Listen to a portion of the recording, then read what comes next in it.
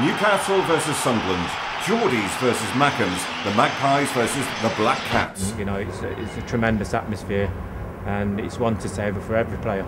It's that, it, it's that one place of, of, of honour, of pride, um, and, and it's the place where battle takes place. And some say that rivalry began many years ago. The Battle of Boldon Hill in 1644 set the Royalists of Newcastle and the Parliamentarians of Sunderland head to head during the Civil War. And over the recent decades, it's still been a bitter fight at times, even on the pitch. Most other derbies involve teams from the same town Tottenham and Arsenal, Celtic and Rangers, even Inter Milan and AC Milan. But the Tyne-Wear derby is different, with 12 miles separating the two sides. So just what is it that divides two cities, two clubs, two sets of supporters?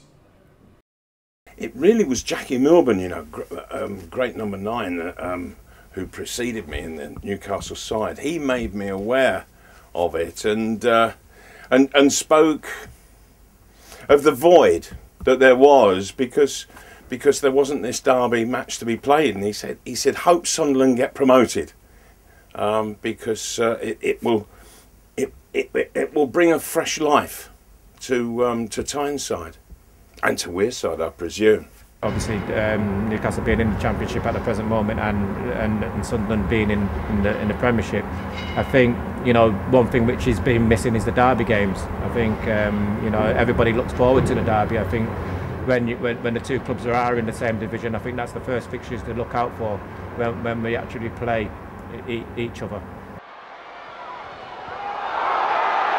Obviously, it's the one game you look forward to in the season, Sunderland v Newcastle, and you want a packed house. You know, Roker Park when I player could hold forty six thousand. Well, again, uh, you go. You can have a, a good season and uh, have no derby game, and then you think, oh, you can have a poor season and there'll be no derby game it actually is the icing on the cake. It's a cherry on the pie, if you like. And Shearer lays it off, and Dyer, and this is Bellamy away. Bellamy with an early chance for Newcastle. Phillips is in the centre, and there's danger here for Sunderland. Oh, and a block by Tommy Wright. Phillips again. I think it's political. I mean, I, I was part of the um, the We Are United group. I have I have worked alongside Sunderland supporters.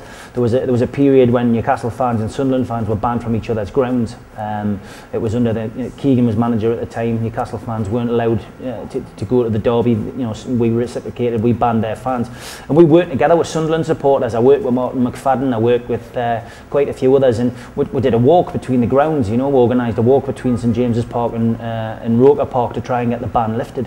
We set up a group called We Are United and Newcastle fans and Sunderland fans work together? Um, I think the rivalry probably stems from initially the sort of whole economic sort of battle between Sunderland and Newcastle as two cities because obviously Sunderland was the, is, is the biggest city population wise and the whole shipyards heritage um, made Sunderland like a massive city but post Second World War councils poured more money, governments poured more money into Newcastle than they did Sunderland and made it like the regional capital whereas Durham was I think before then historically. Um, and I think there was, I think there's a lot of people from Sunderland had to go through Newcastle to work, and obviously with the cities being so close, but only having one football team each, like it, it creates a rivalry.